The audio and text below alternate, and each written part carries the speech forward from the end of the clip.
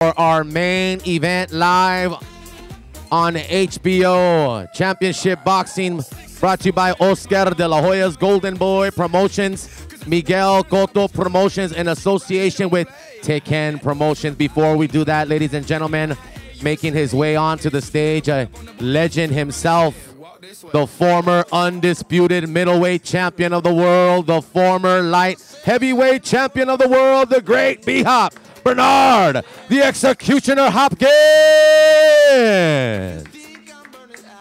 Here we go, ladies and gentlemen. Our main event sponsored by Cerveza Tecate Born Bold, Casa Mexico Tequila. It's in the taste.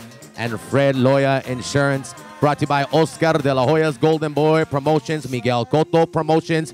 Here we go. Making his way onto the stage first.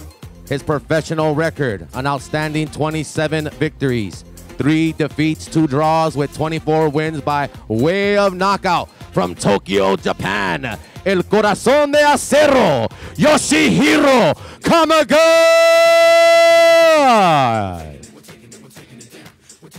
His opponent, ladies and gentlemen, a former five-time world champion. His professional record, an outstanding 40 victories, 5 defeats, 33 by way of knockout, representando Puerto Rico. Make some noise for Miguel Cotto! And on to the scale first, El Corazón de Acero, Yoshihiro Kamaga! 153.8 pounds for Yoshihiro Kamegai. This is for the vacant WBO junior middleweight title, ladies and gentlemen.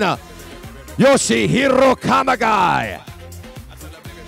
And now, ladies and gentlemen, making his way to the scale, the former five-time world champion, 40 victories, 5 defeats, 33 by way of knockout, representando Puerto Rico, Miguel Ángel Cotto!